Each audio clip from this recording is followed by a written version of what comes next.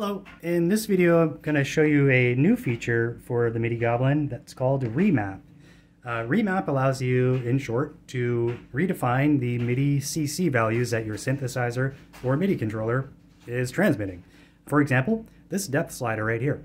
When you move it, in the remap screen, you can see that the device transmits a value of 77 for that parameter. Let's say this Korg Volca keys um, it has a VCF cutoff that has a CC parameter of 44. Um, if I wanted to, say, control that 44 value using my depth slider, I simply enter the number here, click yes. You can see that it's been set. Turn on remap, and so you hear that. Change it. You can see it lights up because it's received a message. This can be pretty useful for a lot of different reasons. Uh, a lot of synthesizers don't have the ability to change their transmitted CC values. That goes without saying.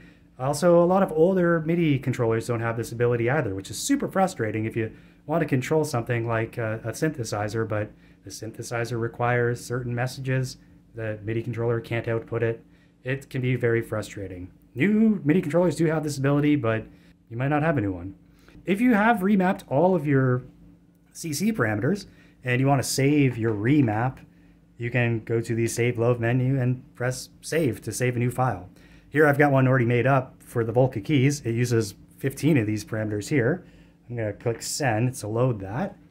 And uh, I wrote up a fancy little map here for this device.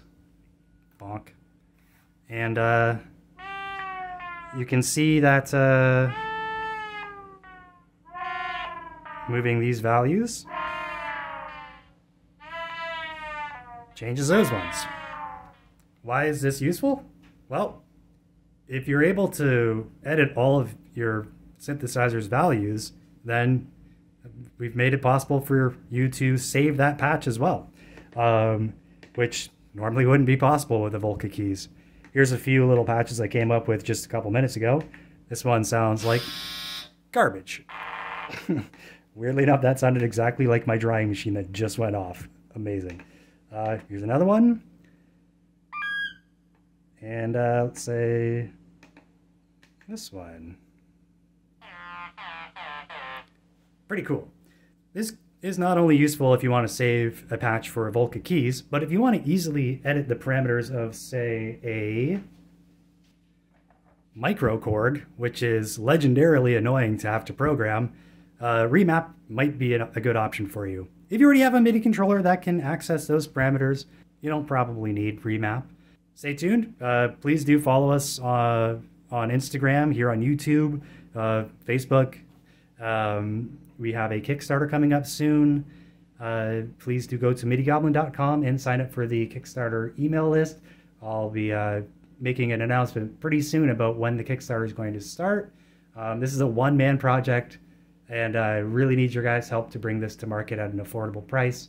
I could start selling them now, but they would be expensive, and I want to be able to sell these for at a price everyone can afford. I uh, hope you're all having a good day, and uh, yeah, have fun. Oh yeah, also I added a MIDI MIDI through for notes as well. That's the Korg Volca working. How about that?